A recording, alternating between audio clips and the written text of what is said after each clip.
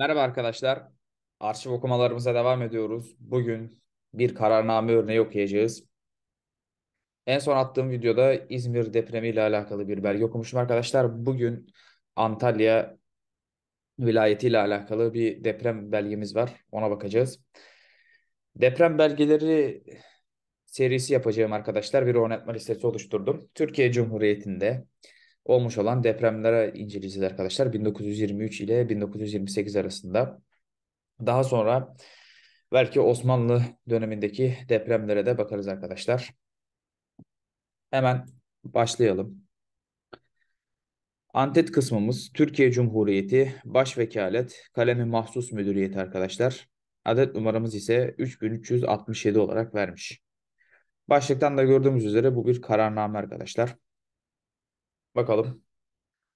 Antalya vilayetine merbut yani oraya bağlı Finike ve Kaş kazalarıyla İdeal ve Kalamaki nahiyelerinde ve civarındaki harekete arzdan mutazarrır olan yani zarar gören felaket zedelerin tahfifi ızdırapları yani ızdıraplarının dinmesi için arkadaşlar ve iaşi ihtiyaçlarıyla malzeme-i inşaiyelerinin tedariki için masarıfı gayrı melhuzadan 10 bin lira itası Dahiliye Vekaletinin fi 21 Mart sene 926 tarih ve 164 numaralı tezkiresiyle vuku bulan teklifi üzerine icra vekilleri heyetinin fi 21 Mart sene 926 tarihli içtimaında tasvip ve kabul olunmuştur. Tarih kısmımız 21 Mart sene 926 arkadaşlar. Burada da okumuştuk zaten. Kararname olduğu için bütün devlet e, başkanlarının e, imzaları olacak arkadaşlar. Devlet başkanından ziyade e, kurumların arkadaşlar. Reisi Cumhur Gazi Mustafa Kemal'in imzasını görüyoruz.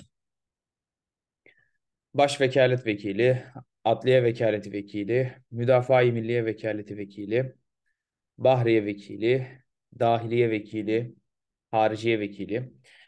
Arkadaşlar belgenin e, daha sonradan Latin harflerine daktilo edilmiş suretini de göstereceğim. Maliye Vekili, Marif Vekili, Mafya Vekili, Ziraat Vekili, Ticaret Vekili, Sıhhiye ve Muavenet, İçtimaiye Vekili arkadaşlar. Hepsinin imzalarını görüyoruz. Burada da arkadaşlar belgemizin Latin harflerine çekilmiş formunu görüyoruz. Burada e, bakanların isimlerine bakabilirsiniz arkadaşlar. İki e, tarzda da belgeyi paylaşmayı seviyorum arkadaşlar. Bütünlüğünü bozmamamız gerektiğini düşünüyorum. Belgemiz bu kadardı.